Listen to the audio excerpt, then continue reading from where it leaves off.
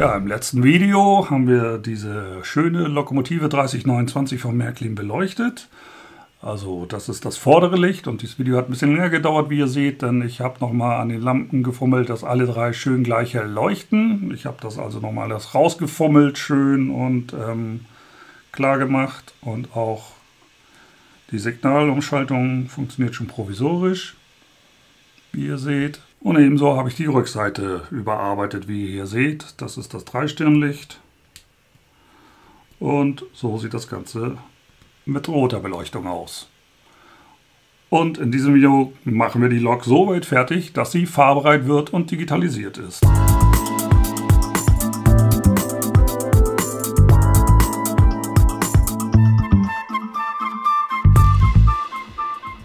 Ja, ihr erinnert euch ja, diese Lok äh, habe ich wieder fahrbereit gemacht und jetzt habe ich die Beleuchtung eingebaut. Ähm, als erstes nehmen wir uns ein bisschen Farbe, also schwarze Acrylfarbe und ich äh, werde ein bisschen die kleinen Litzen hier kaschieren mit schwarz und auch innen ähm, die ganzen Aufkleber schwarz übermalen.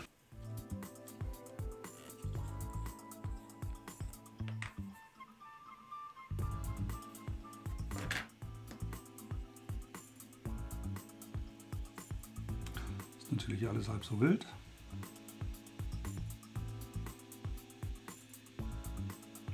Vorsichtig einfach ein bisschen Farbe aufbringen und auch äh, die Lampen werde ich von hinten schwarz malen. Einfach aus dem Grund, damit es nach hinten nicht so durchscheint.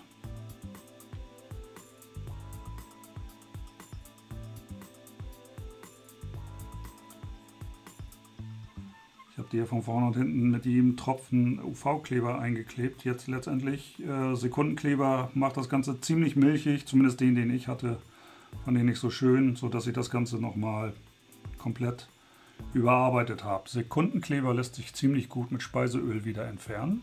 Kennen wir vielleicht aus den Klimaklebern, was die Polizei jetzt immer Speiseöl dabei hat. Das neue Gold. Und ähm, na, er ist wieder billiger geworden.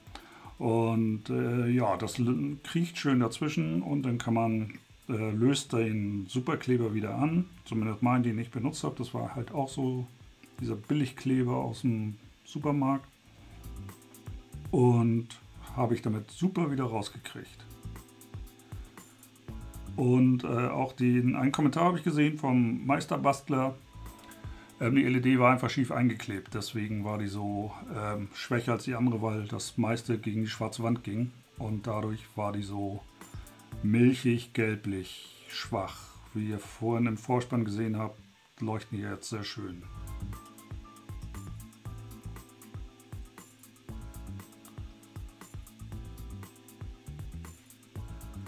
So, und das Ganze noch von innen.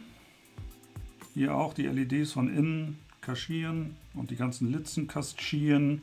Ich weiß nicht, wo genau man da überall reingucken kann. Deswegen kaschiere ich lieber alles schwarz. Ich glaube nicht, dass nachher auf der Anlage da überhaupt jemand reinguckt, aber wie heißt das so schön? Der Teufel ist ein Eichhörnchen. Und wie ihr gesehen habt, ähm, ich habe das alles sauber mit Kreppband verklebt, also mit so Malerkrepp.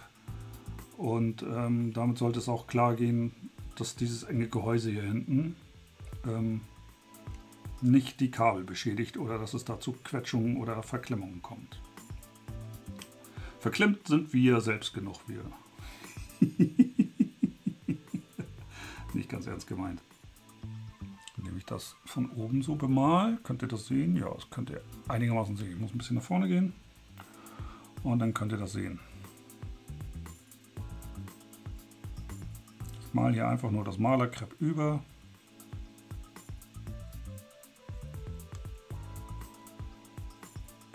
Hier hinten bin ich schon durch.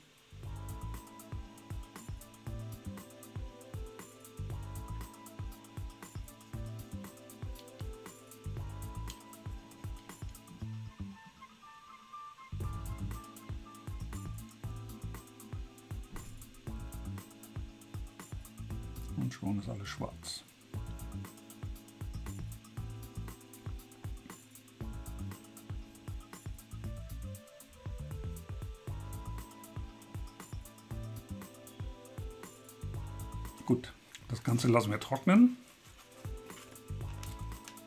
Ich tue das hier meine selbstgebaute Lokwaage. Vielleicht zeige ich euch das nochmal, wie man sowas selber bauen kann, aber ich glaube, das kriegt ihr selber hin. Während das Lokgehäuse trocknet, kümmern wir uns um den Motor. Wir wissen das ja noch vom letzten Mal. Ich habe jetzt zwar neue Kohlebürsten reingesetzt, ähm, die bewahre ich mir auf für eine andere Lokomotive. Hier kommt hier ein kompletter neuer Motor rein. Motor und Decoder habe ich hier.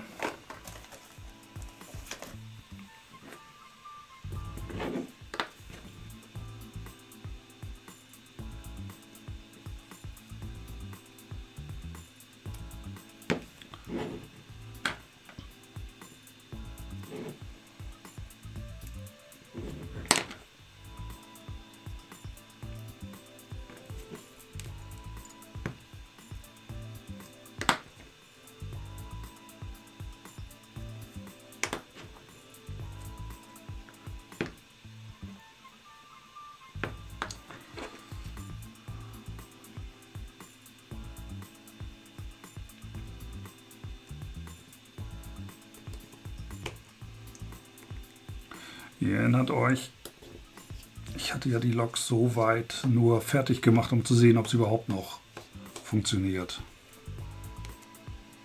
Also ob hier in dem Getriebe, mit dem Getriebe alles klar ist oder ob ich da noch ein bisschen was tun muss und auch dieses Getriebe, ob ich das soweit sauber habe. Und ähm, das war der ganze Sinn, warum ich den Motor damals in dem anderen Video wieder zusammengebaut habe.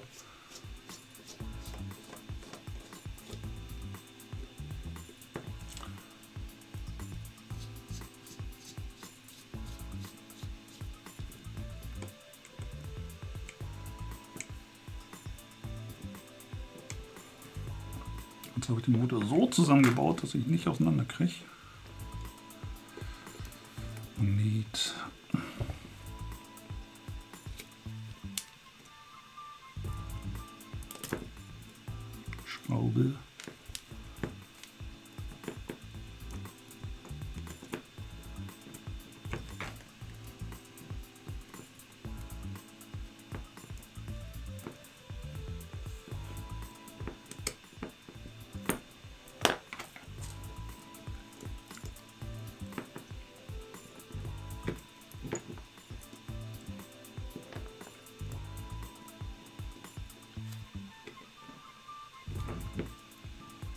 Weil ich das noch angelötet hatte.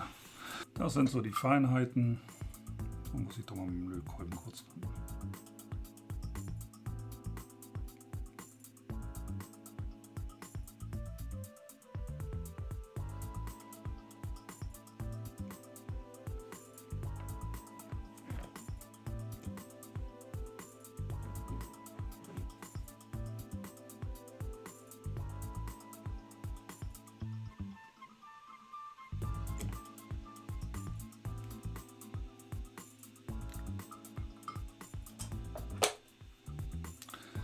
Dann geht das Ganze auch leicht auseinander.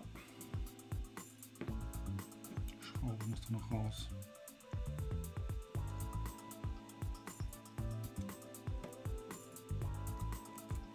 So.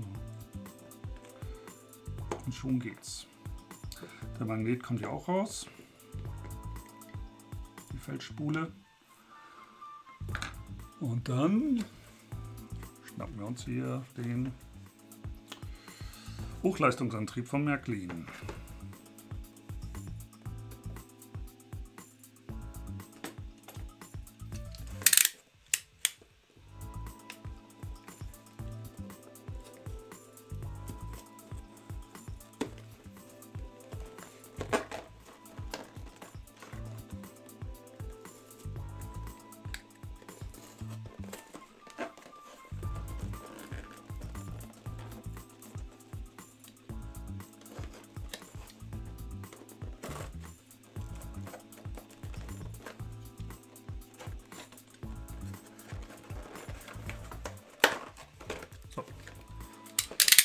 Ich habe auch für diese Lok den 90, äh, den 90, den 60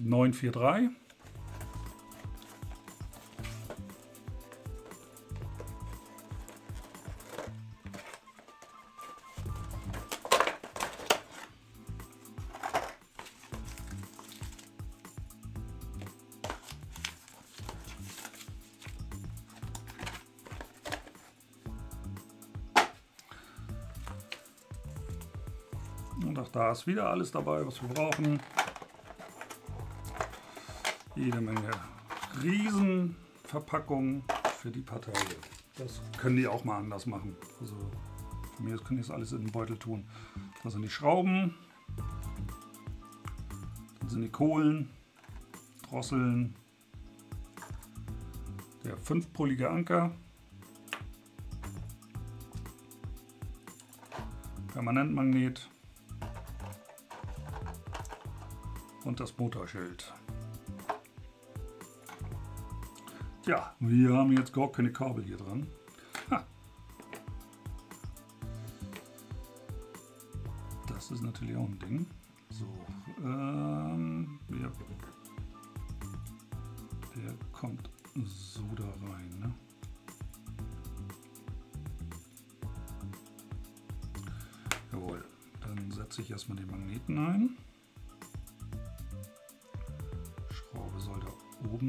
Wenn ich das richtig sehe. Dann kommt der so ins Gehäuse.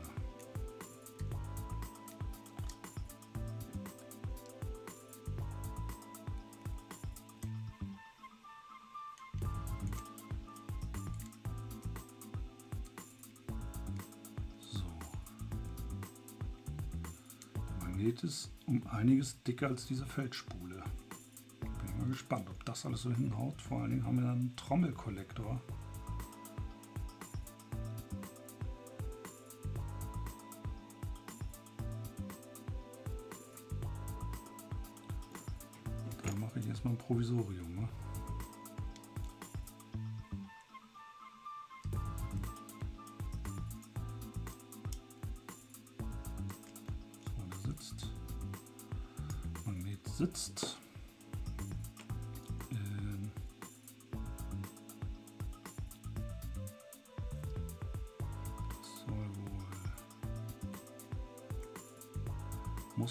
Davor.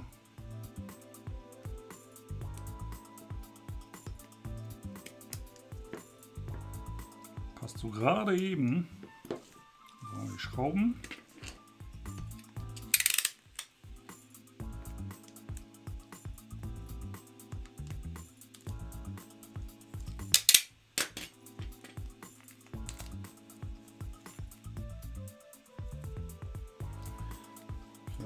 Wohl. Ja, richtigen Schrumpfschlauch kann Märklin ja nicht, ne?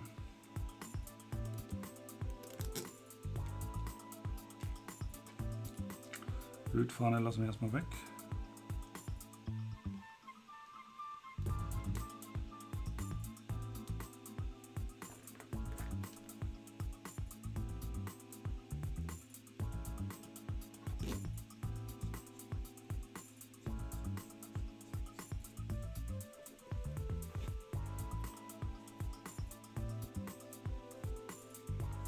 Das sehe ich schon wieder kommen. Das blockiert das Getriebe. Jawohl. Äh, so. Seht ihr das im Getriebe, wie schief auf einmal das Zahnrad sitzt? Alter Falter. Ähm, ja, da müssen wir die Schraube aber wirklich mindestens 5 mm kürzen, so wie das aussieht. Das ist ja wirklich nicht feierlich da. Seht ihr das? Das ist richtig, äh, hier dieses Zahnrad. Ist richtig, richtig schief. Dazu hole ich dann gleich mal den Dremel raus, aber erstmal ging es mir darum, ähm, das Gehäuse.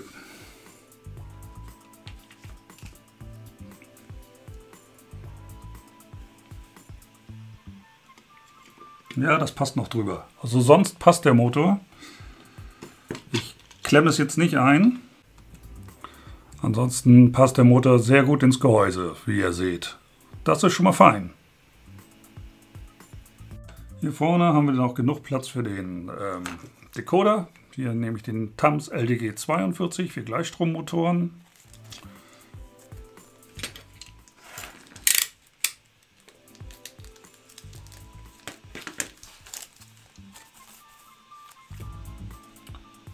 Der passt hier vorne prima rein.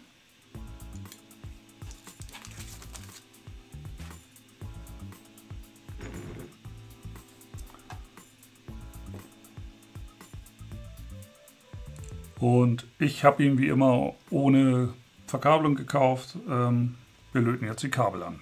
Dann fangen wir an zu löten. Erstmal machen wir natürlich die rote Litze drin. Also die zum Schleifer.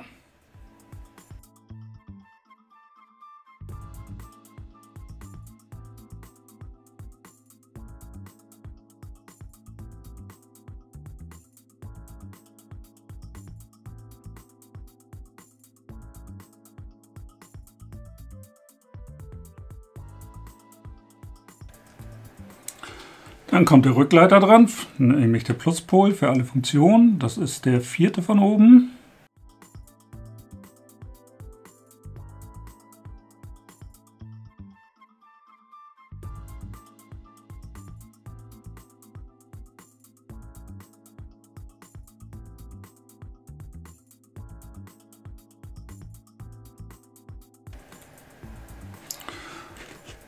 Und darunter kommt das Licht für die Vorwärtsfahrt.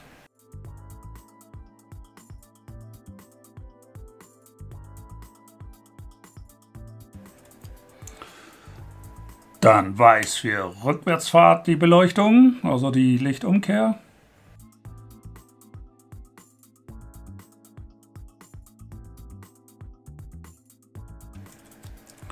Und zu guter Letzt braun für Masse.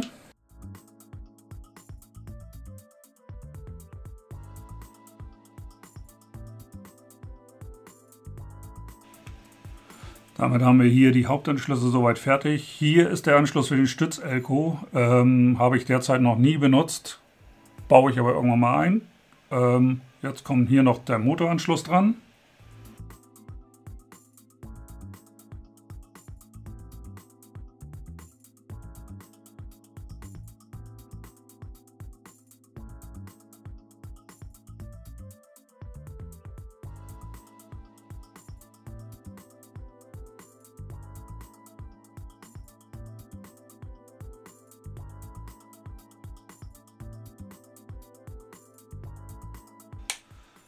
Haben den Decoder verkabelt.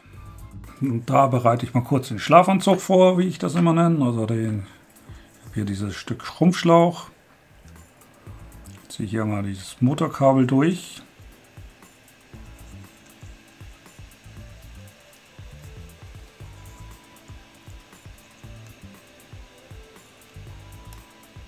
Die AUX-Anschlüsse kann ich jetzt genau nicht so genau gebrauchen.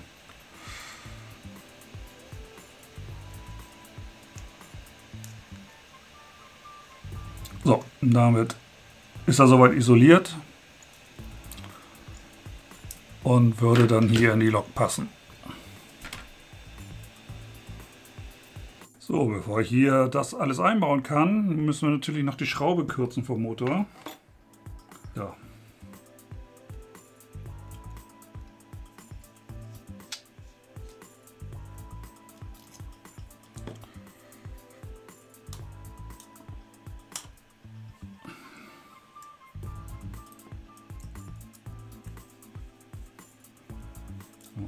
5 mm abtrennen, ne?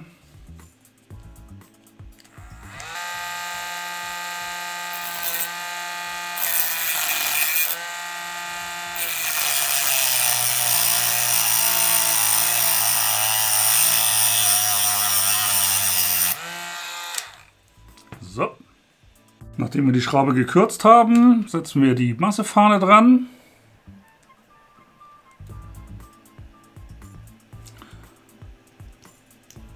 Und können die Schraube wieder einschrauben und damit das neue Motorshield, den neuen Motor fertig machen. Wir machen ihn jetzt fertig mit linker, mit der rechten Hand hier. Noch ein bisschen die Fahne hoch, wenn ich das noch kann. Ja, muss ich wieder ein bisschen locker schrauben.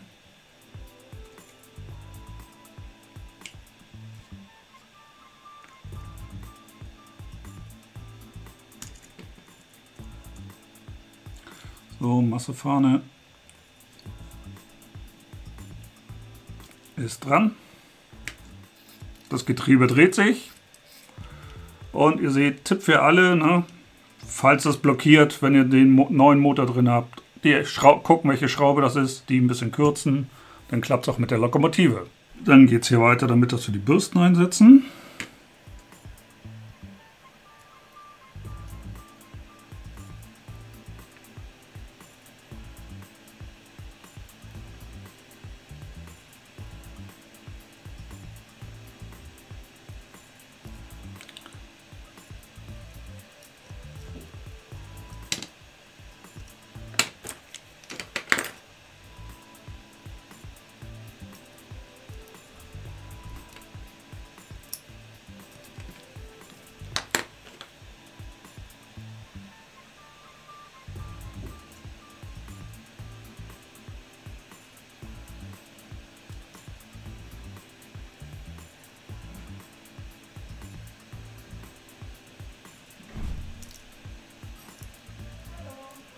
Hallo.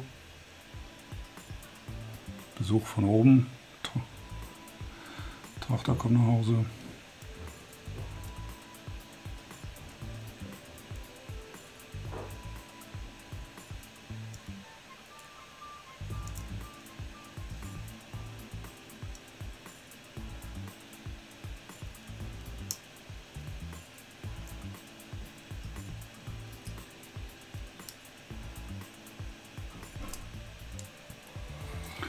So, das haben wir.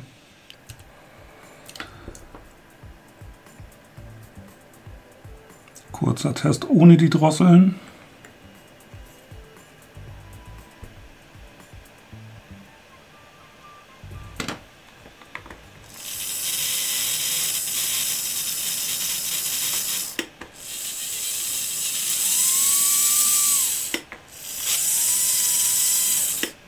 Sehr schön.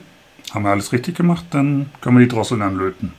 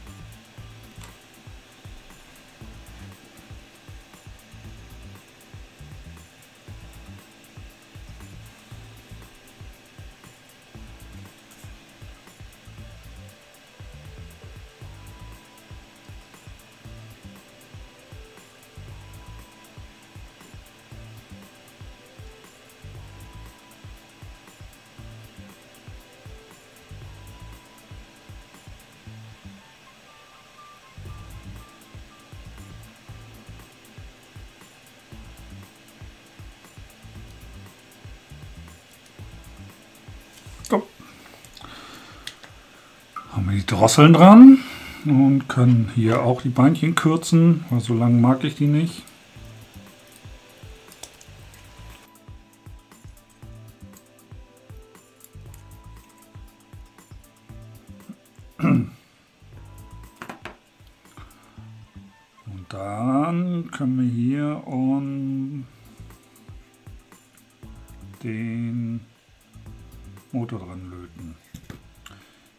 Litze erstmal ein bisschen länger und mache sie hier am Ende ab, weil ich muss gucken, ob Vorwärts, Vorwärts und Rückwärtsfahrt dann auch stimmt, wie ich mir das vorstelle, beziehungsweise wie sich auch dann die das am DCC-Decoder vorstellen.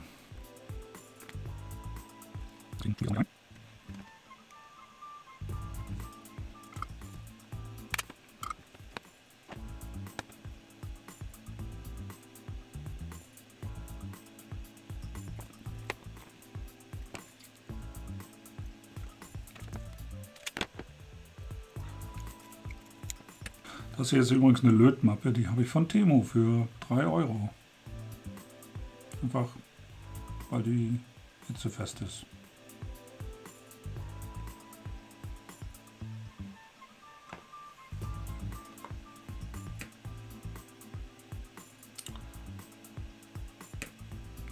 Schont ein bisschen meine Schneidematte. So, Masse habe ich dran. Jetzt kommt der Schleifer.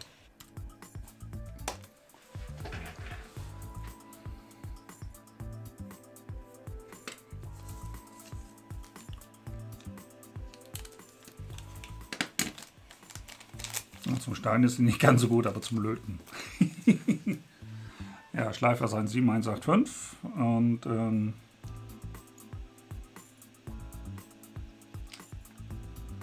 hier kommt hier unter die Lok in die Aussparung.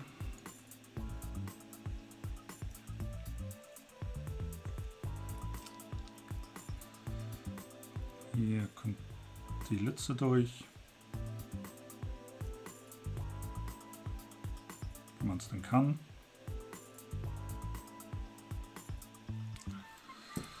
So.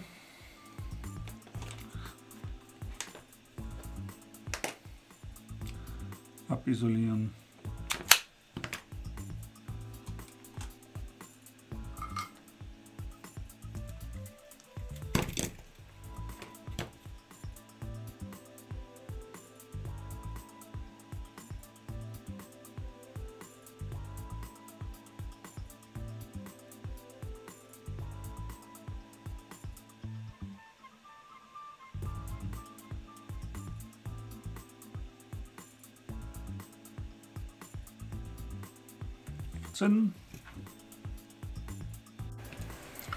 Dann kommt der alte Schleiferschuh dran.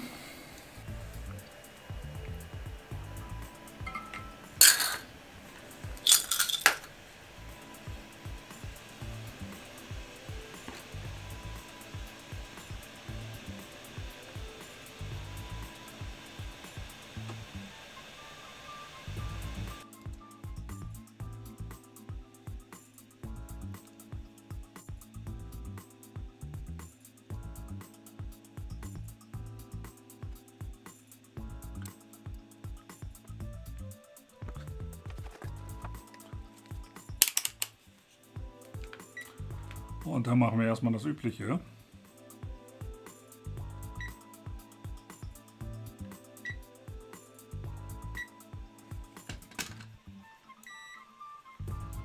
Wir testen auf Kurzschlüsse. Masse haben wir. Schleifer ist soweit in Ordnung. Super, dann können wir den Schleifer anschrauben.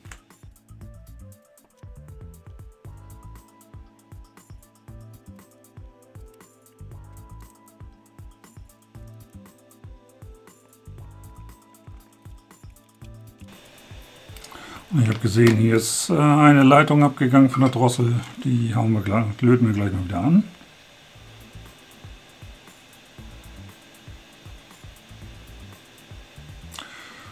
Muss man wahrscheinlich nochmal ordentlich verzinnen.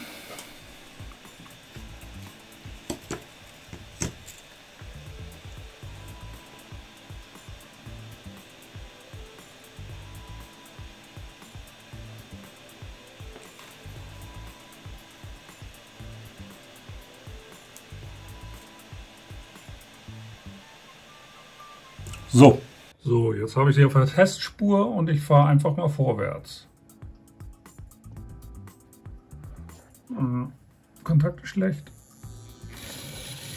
Ja, vorwärts klappt.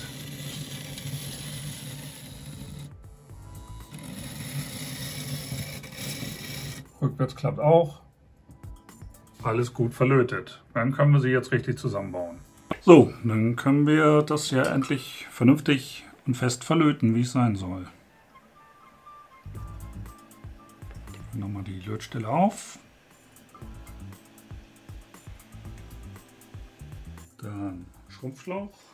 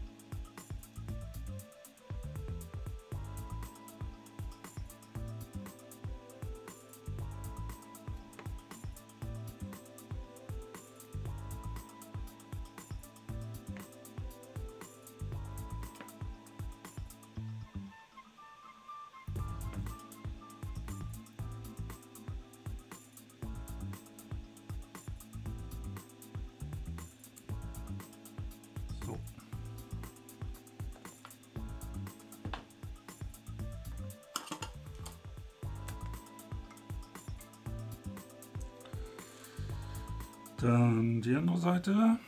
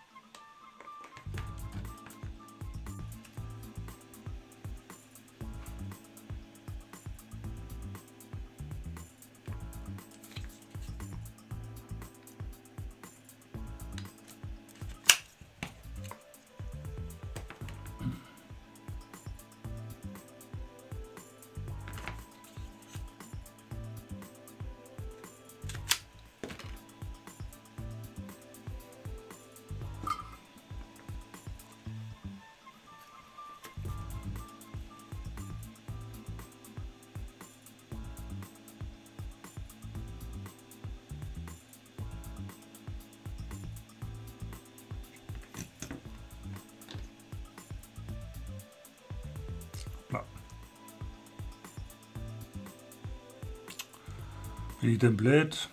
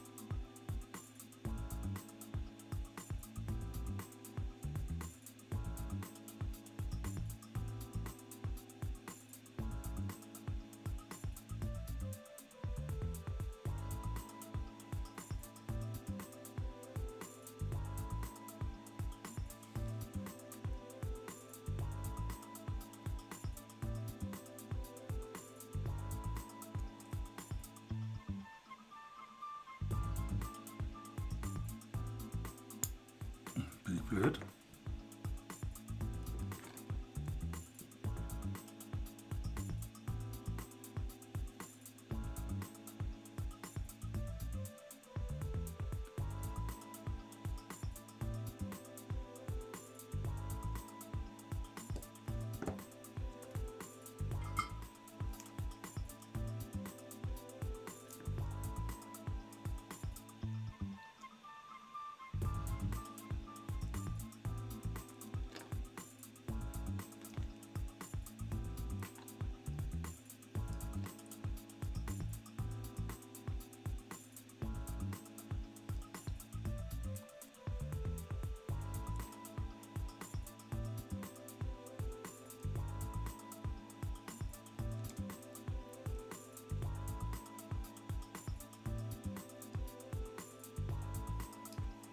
So, dann baue ich jetzt den Schutzwiderstand dazwischen für die LEDs. Ich weiß, einige mögen keinen Schutzwiderstand. Ich liebe meine LEDs und ähm, ja, es ist ein ziemlicher Aufwand, die hier einzubauen. Von daher finde ich sie auch ein bisschen schützenswert, damit sie nicht von vornherein durchhauen, falls mal irgendwas passiert. Dann lieber mit dem Widerstand dazwischen.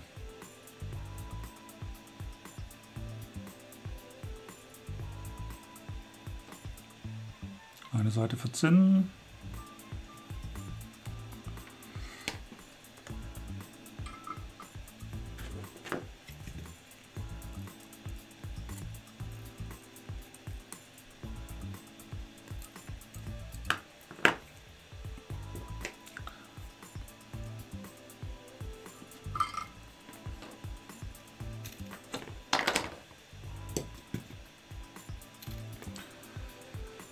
Seiten verzinnen.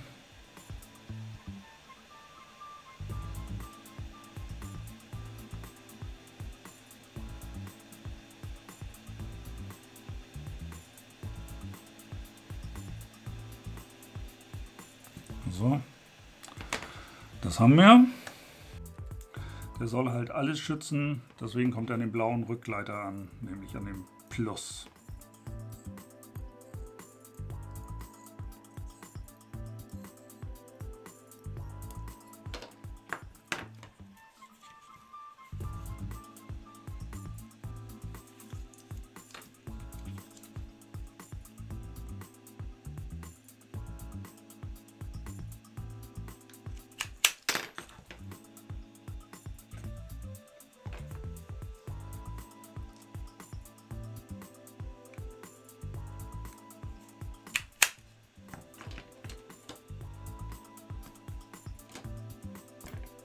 Ne? Kriegen wir nicht ab.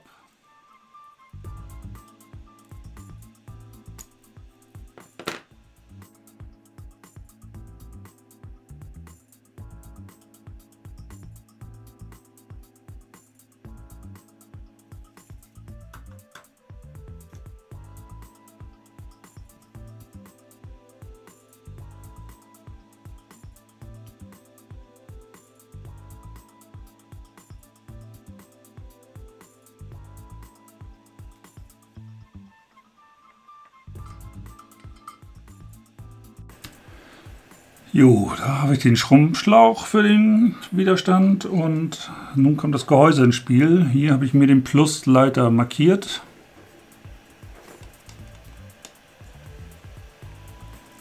Da kann ich mal den Aufkleber von abmachen.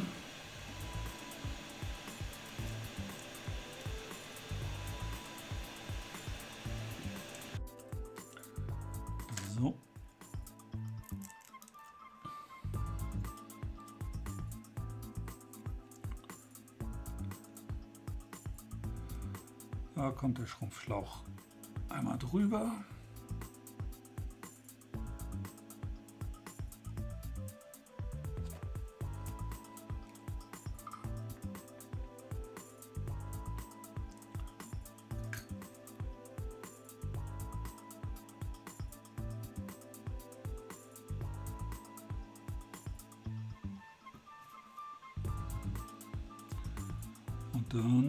die letzte da an dem Widerstand. Hoffe ich mal.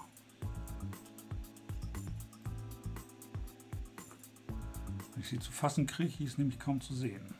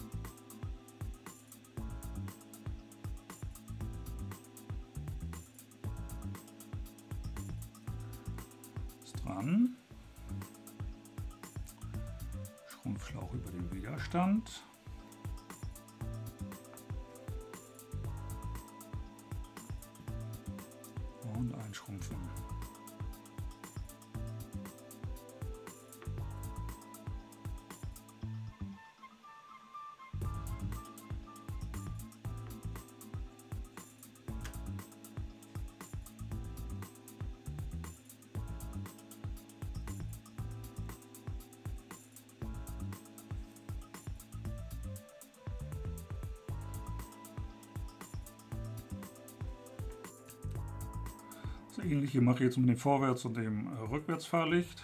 Ähm, die kann ich mal auf dieselbe Länge einkürzen.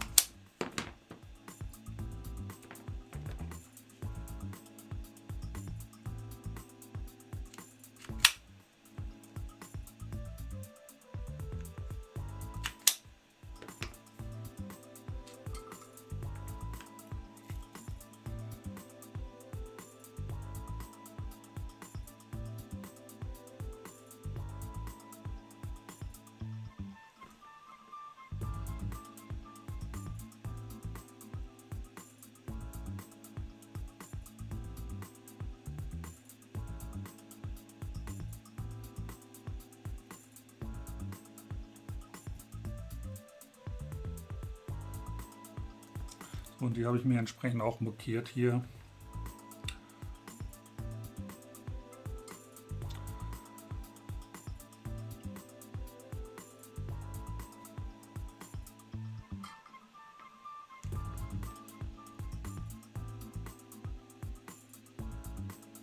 Das lässt sich schlecht einschrumpfen.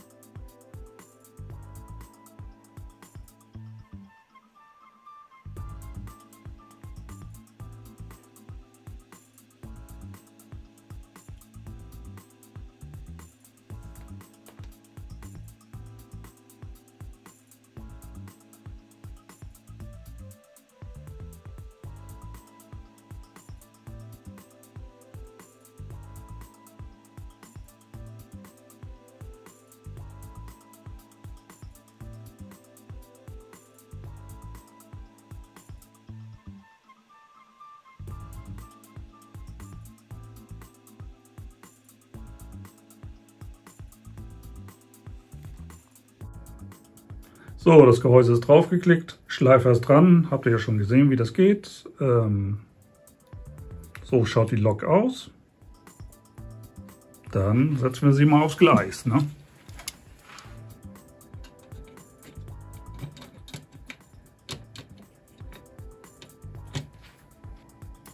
Strom an, Licht an. Schauen wir mal von hinten. Auch sehr schön. Lichtwechsel. Hinten schön das Dreigestirn. Vorne rot.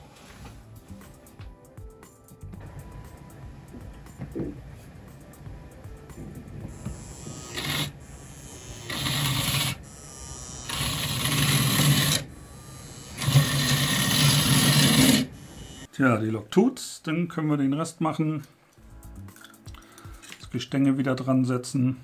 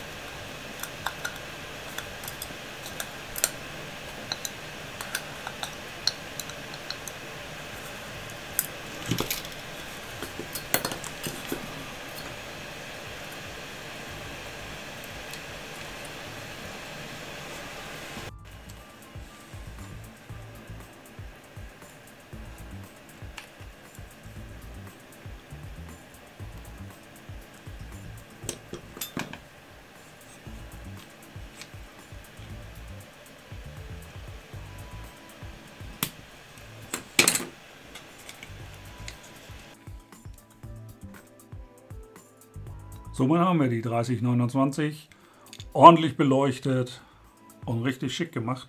Digital und Hochleistungsmotor drin. Meine Schienen mache ich noch sauber, aber in diesem Sinne haben wir diese Lok schön digitalisiert und, und sie macht ein bisschen mehr her. Danke fürs Zusehen. Wenn es euch gefallen hat, lasst einen Daumen hoch da. Wenn es euch nicht gefallen hat, macht einen Daumen runter. Ist auch okay. Wenn ihr wissen wollt, wie es weitergeht, abonniert den Kanal, aktiviert die Glocke, damit ihr auch nicht verpasst, wenn das nächste Video online geht. In diesem Sinne, bis bald!